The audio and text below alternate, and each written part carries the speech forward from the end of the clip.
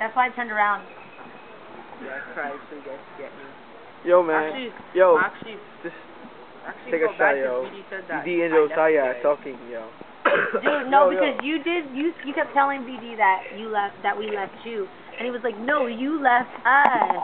Oh, I I thought you was meant in the I, I car. thought you You were so drunk that night, Huh? dude. Yeah, you just left us. Yeah, man. Like we were like outside still, and you didn't even want like you didn't even hear the plan. We didn't even know what the fuck was going on. We didn't even try to go in the back door you're yet. sh- you're You just showing walked off, right in. man. You're showing off. Keeping it lit, You were like, hey, enjoying what's the beer, man? This is my fourth bottle. Oh, really? Yeah. Dude, you're out that night. Bye. You're fucked. But you still remember we watched Cuddle Blow? Yeah, of course.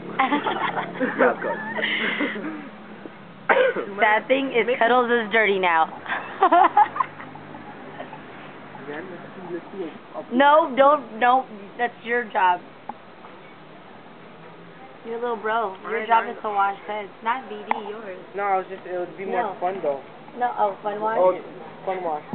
Let's do a big fatty and we'll go wash it. They'll like take us on a new adventure and shit. New adventure. Do like we can look for the chicks.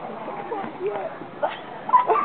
What's up, What are you, a monkey? and go and go fucking burn the sticks out after.